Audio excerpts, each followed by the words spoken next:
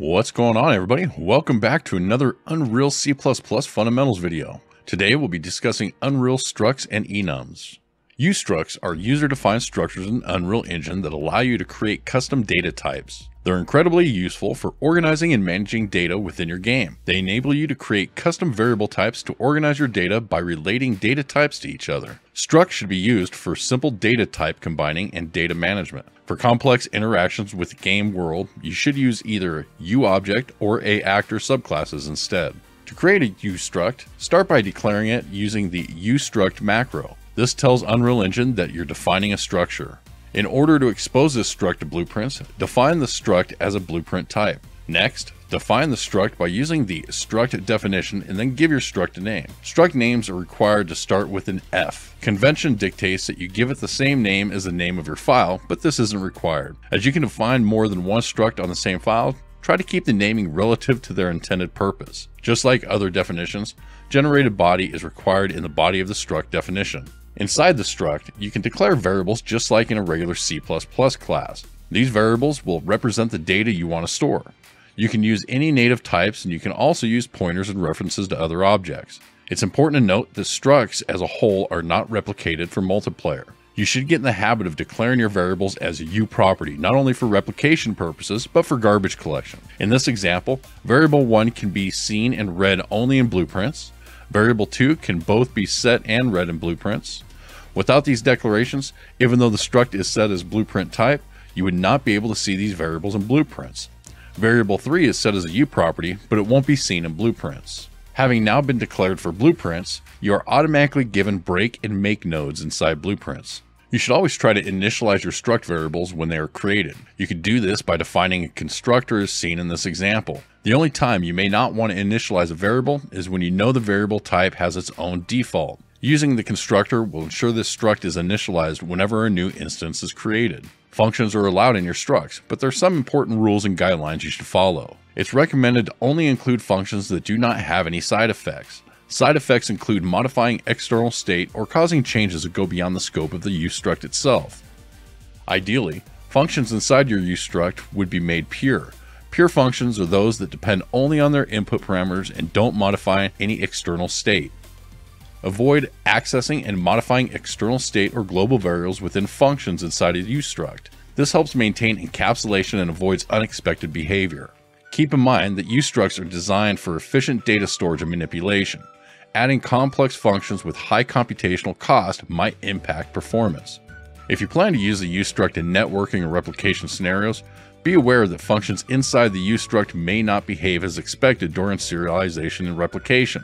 It's generally safer to keep UStructs simple and data focused for such use cases.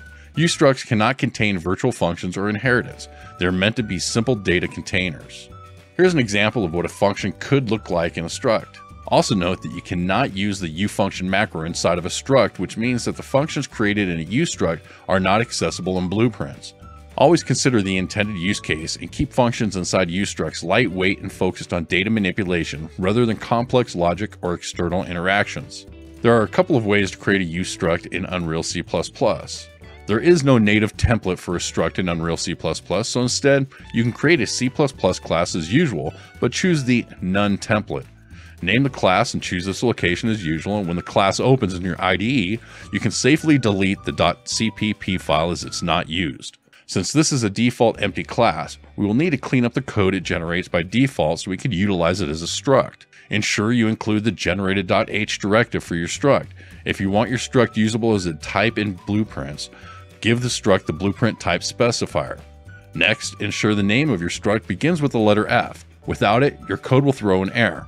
Lastly, make sure you have the generated body macro at the beginning of your struct.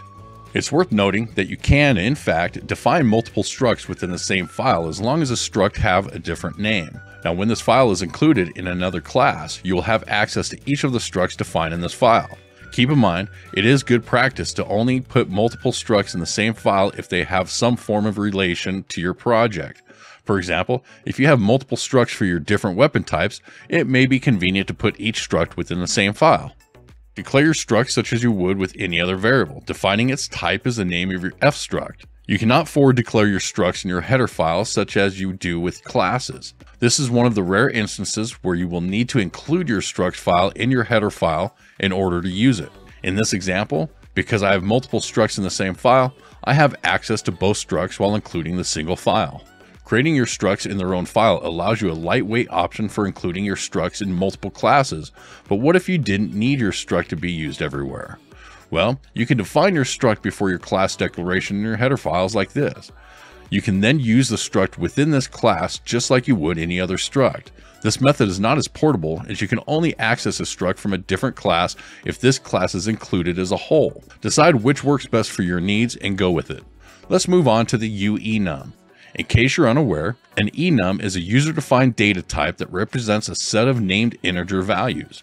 Enums are used to define a fixed set of possible states or options for a variable. They provide a way to improve code readability by using descriptive names for specific values instead of relying on raw integers. Enums are very similar to structs in how they are created and implemented. Create a blank C++ class, give it a name and a file location, delete its CPP file, and delete the default code in the header file. The UEnum declares the enum visible to Unreal Engine. The specifier blueprint type exposes the enum to blueprints.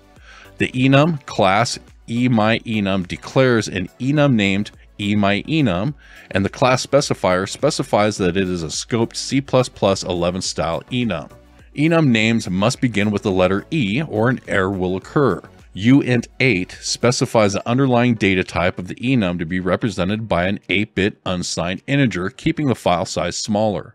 Everything within the curly brackets are then your individual enum values, separated by a comma. You can include umeta specifiers.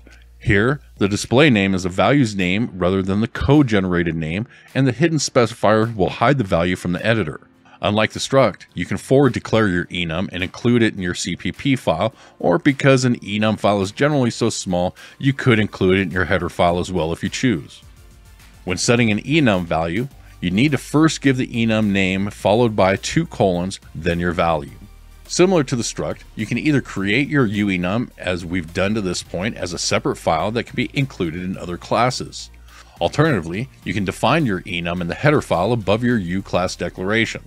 This will localize your enum to that particular class and any class that includes this class. Like the struct, you can also declare more than one enum per file but good practice says you should only put related enums in the same file. Hope you guys found this quick video useful and that you now have a better understanding of structs and enums. If so, consider smashing that like button. If you're new to the channel, consider subscribing while you're down there liking it and hit the bell to be notified whenever a new video drops. If you have any questions or comments, you can leave them below or consider joining the Discord channel to get personal assistance by me as well as the community.